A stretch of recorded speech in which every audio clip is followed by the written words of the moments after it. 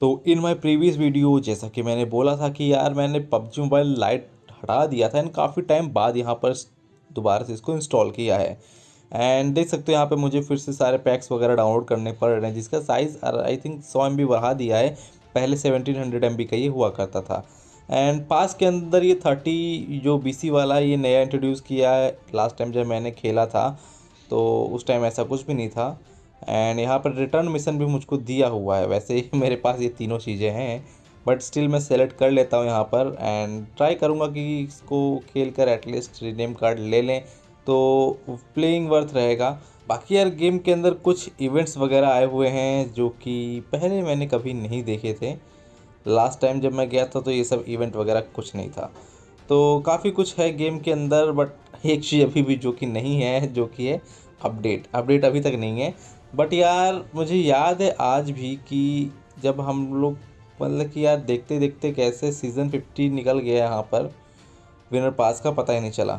जो season three था winner pass का, वो पहला सीज़न थ्री था मतलब पहला ऐसा सीज़न था, पहला विनर पास था, जो कि सबके लिए अवेलेबल था। उससे पहले के जो है वो फॉरेन की कंट्रीज़ में थे, जिसके लिए डॉलर चाहिए था। बट सीज़न थ्री जो विनर पास हमारा सीज़न थ्री था, वो भाई सबके लिए अवेलेबल था। एंड आज भी याद है कि मैं और मेरे फ्रेंड्स बिल्कुल वेट कर रहे थे कि जल्दी से आए, उसको परचेज़ करेंगे।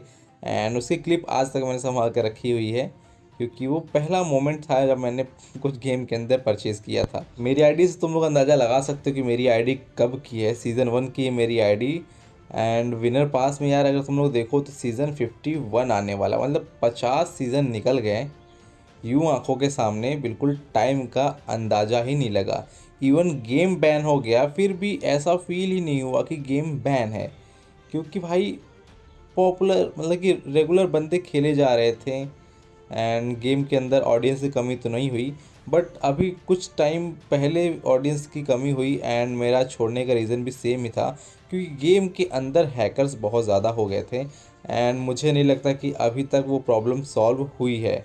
डेवलपर्स को जो है इसके अंदर आउटफिट देने से ज़्यादा जो है हैकर्स को, हैकिंग को फिक्स करने की सोचनी चाहिए। उससे शायद जो बंदे छोड़ के गए हैं गेम को वापस आ जाए, क्योंकि सच बोलूँ तो यार पचास सीज़न, मैंने जैसा कि बताया, मैंने गेम खेला है एंड जब मैंने गेम छोड़ा तो उसके बाद BGMI वगैरह भी इंस्टॉल किया बट वो फील नहीं आता जो कि इसके अंदर आता है, जो कि मज़ा इस गेम के अंदर है।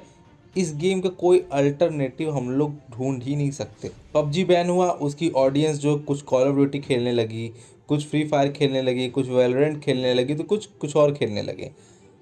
कुछ एपेक्स में भी बीच में आया था एपेक्स भी खेलने लगे बट यार पबजी मोबाइल लाइट की ऑडियंस भाई टस से मस्त नहीं हुई। कल भी पबजी मोबाइल लाइट खेलती थी, आज भी वीपीएन लगाना पड़ रहा है बट पबजी मोबाइल लाइट ही खेलती है, पबजी मोबाइल लाइट की ऑडियंस तो इतनी लॉयल ऑडियंस है डेवलपर को ये समझना चाहिए एंड गेम में कुछ करना चाहिए। चलो भाई, तुम अनबैन नहीं कर रहे हो, हम लोग वी लगा के ही खुश हैं बट एटलीस्ट प्लेयर्स को एंगेज रखने के लिए अपडेट्स दो गेम के अंदर जो इशूज़ है उसको फिक्स करो। बट पता नहीं यार, इन लोग के दिमाग में क्या चलता रहता है, कुछ ये लोग करते ही नहीं है। अब let's hope for the best कि मे बी ट्वेंटी फाइव आए काफ़ी टाइम हो गया अपडेट अभी तक कुछ अपडेट नहीं आया तो मे भी हमें कुछ देखने को मिल जाए। वैसे उम्मीद तो काफ़ी कम ही है, बस ये लोग मुझको लगता है कि बस वही सीज़न का जो मतलब सीज़न चेंज कर देंगे एंड वर्जन चेंज कर देंगे और उठा के वही गेम दे देंगे। सो लेट्स सी क्या होता है बाकी फ़िलहाल इस वीडियो में तो इतना ही था। See in the next one till then take care bye bye